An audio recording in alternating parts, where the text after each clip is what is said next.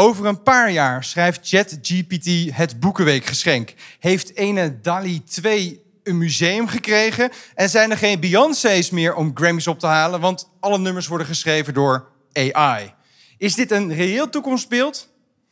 Ja, we horen het zo van Maarten Lamers. Ik ben Marijn van de Universiteit van Nederland en de komende 10 minuten krijg jij het antwoord op de vraag: kan AI een originele hit schrijven? Vanuit het Mediamuseum in beeld en geluid is hier de meest speelse informaticus van Nederland, Maarten Lamers van de Universiteit Leiden.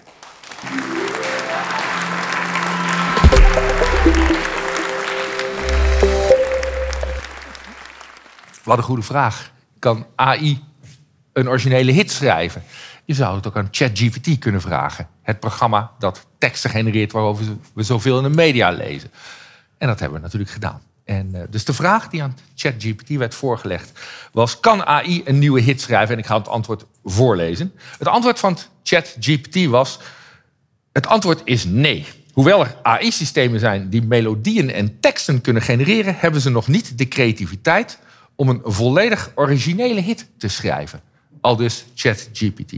Dus ze kunnen wel teksten en melodieën schrijven, maar geen originele hit. Hoe zit dat nou eigenlijk? Om dat te begrijpen moet je weten hoe hedendaagse AI werkt. En om dat te begrijpen is het heel handig om eens te kijken hoe mensen eigenlijk de wereld om zich heen een beetje leren begrijpen.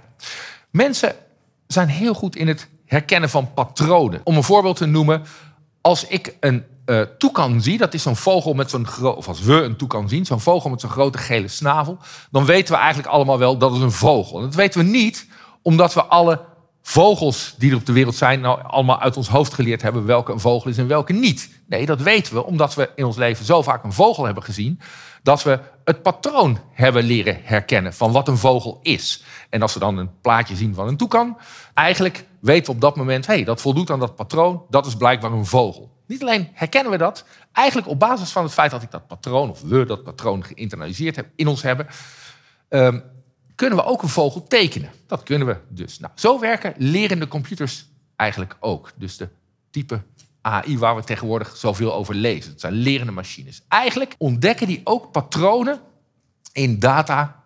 En dat zijn dus getalletjes, dus het kunnen foto's zijn, alle dingen die je in een file kunt slaan. Dat kunnen stukjes muziek zijn. En zo kunnen computers bijvoorbeeld vissen leren herkennen in foto's. Het is goed om te weten dat zo'n patroon, dat ontdekt de computer dus uit al die data. En dat komt dus op een of andere manier in dat computergeheugen terecht.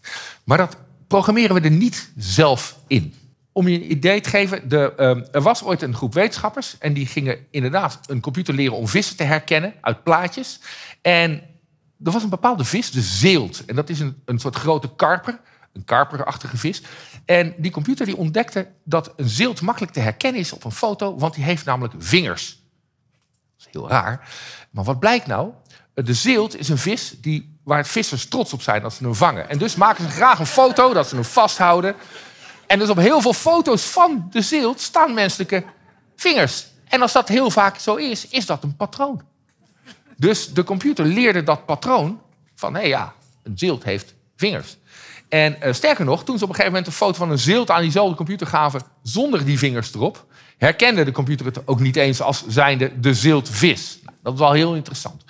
Nou is het zo dat als een computer zo'n patroon geleerd heeft eigenlijk uit die data, dan kan die daar ook nieuwe plaatjes, of wat hij ook geleerd heeft, nieuwe objecten van maken. Zo is er bijvoorbeeld een computer die kan heel goed fotorealistische menselijke gezichten bedenken eigenlijk van mensen die niet bestaan. En elke keer dat je hem vraagt, bedenk eens een nieuw gezicht, komt hij weer met een nieuw gezicht, wat echt wel fotorealistisch is, maar het is niet een gezicht dat daadwerkelijk bestaat. Het is niet een gezicht van iemand die bestaat. Zo is er ook een computer die de muzikale stijl van de Beatles heeft leren herkennen. En die is vervolgens gebruikt om een liedje te componeren in de stijl van de Beatles. Daar zullen we nu een fragment van horen.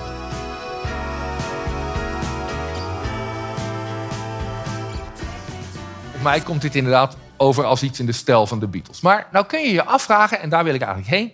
is dit nou creatief, wat die computer doet? En dat is een lastige vraag. Kijk, als je met creatief bedoelt scheppend of creërend... ja, natuurlijk is het volgens die definitie creatief. Want het maakt tenslotte iets, het schept iets.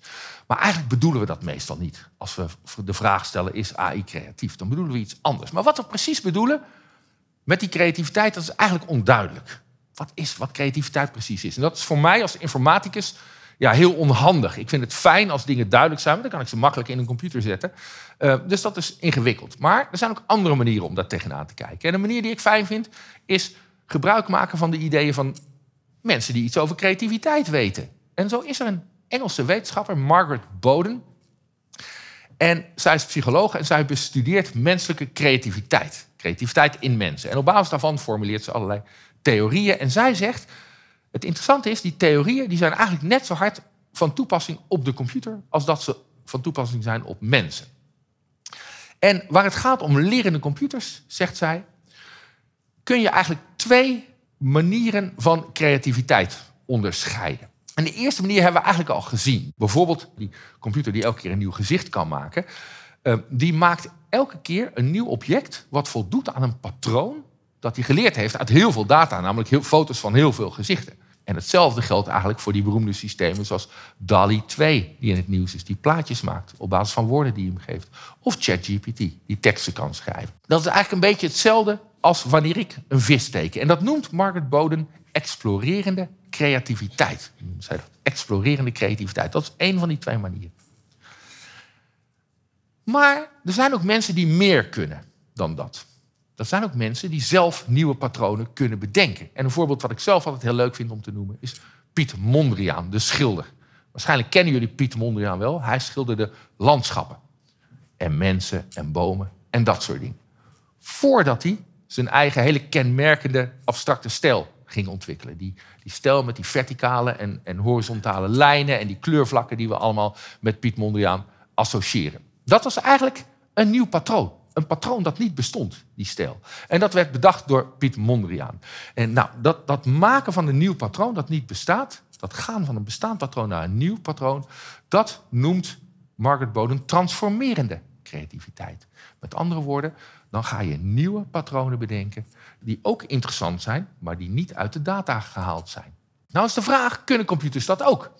Dat is natuurlijk een interessante vraag. Kunnen ze een nieuwe schilderstijl bedenken die we nog niet kennen? Of kunnen ze een spannende, interessante nieuwe muziekstijl bedenken die we nog niet kennen? Nee, op dit moment kunnen ze dat eigenlijk niet. En de reden is eigenlijk heel simpel als je erbij stilstaat. Want om dat te kunnen, moet je een inschatting kunnen maken wat, van wat, wat is interessant voor de mens. En dat kan een computer nog niet. Wij kunnen dat wel, want wij ervaren de wereld. De computer niet. Die kijkt gewoon naar data die we hem geven. Terug naar het voorbeeld van de Beatles. De Beatles die zijn, die hebben de wereld ervaren om tot hun muziek te komen. Die leefden in een tijd, eh, die, hun jeugd in Liverpool bijvoorbeeld zal ongetwijfeld een rol daarin hebben gespeeld. Of de sociale ontwikkelingen in de jaren 60, waarin ze opgroeiden. Of de, de muzikale ontwikkelingen in die tijd. Al die dingen kwamen misschien samen in de Beatles om tot een nieuwe muziekstijl te komen. En hetzelfde weten we, gold ook voor Mondriaan. Mondriaan heeft zich, dat gaf hij ook toe, laten inspireren door jazzmuziek, maar ook de stad New York met zijn rechtlijnige stratenpatroon. En ehm, misschien ook wel door hele persoonlijke ervaringen die hij heeft opgedaan. Dat weten we dan weer niet. Computers zoals ze nu dingen maken, werken eigenlijk vanuit patronen die ze ontdekken in data die wij ze geven. Maar daarmee kunnen ze eigenlijk niet buiten die patronen treden, omdat ze niet die ervaring hebben, die inspiratie die wij wel hebben, die ervaring met de echte wereld om ons heen. En ehm, dan kun je je afvragen, is dat dan erg dat een computer dat niet kan? Nou, ik vind persoonlijk van niet. En dat is ook, vind ik ook eigenlijk heel simpel. Ik vind Piet Mondriaan heel bijzonder. Ik vind de Beatles ook heel bijzonder. Vind ik het dan nodig dat computers ook zo bijzonder worden? Nee, vind ik zelf eigenlijk niet. Maar ik vind het wel handig dat ze, wat ze nu al kunnen. De dingen die ze nu kunnen, die explorerende creativiteit, daar wil ik ook best gebruik van maken. Dat vind ik helemaal prima. Met andere woorden, ze kunnen misschien niet een originele hit schrijven, maar dat maakt mij niks uit. Wat ze nu kunnen, vind ik ook heel handig en knap. Dan blijft de vraag over, kunnen ze dat in de toekomst? Wel dan? Nou, dat is een interessante vraag, maar ik kan niet in de toekomst kijken. Dus, wat doe je dan tegenwoordig? Dan vraag je dat aan ChatGPT. En ik heb een tweede kaartje bij me. Daar is die. De vraag die we aan ChatGPT gesteld hebben is... kan AI ooit creatiever worden dan wij? En het antwoord was, best wel lang overigens, AI-systemen missen nog het vermogen om de menselijke ervaring en emotie te begrijpen en te reproduceren. Nou, mogelijk is AI in de toekomst in staat om ons te verbazen met nieuwe creatieve uitvindingen. Maar het is onwaarschijnlijk dat het in staat zal zijn om menselijke creativiteit volledig te vervangen of overtreffen. Eigenlijk bevestigt AI het verhaal dat ik erover vertelde. Dankjewel.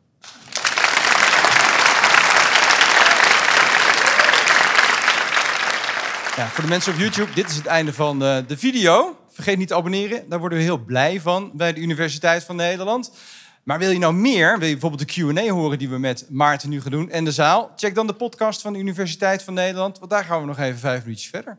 Tot volgende. Ik, uh, ik vroeg me af, je had het over exploratieve uh, creativiteit. Ja. Hebben mensen dat ook in, in feite? Ja, zeker. zeker. Ja, ja. Als ik...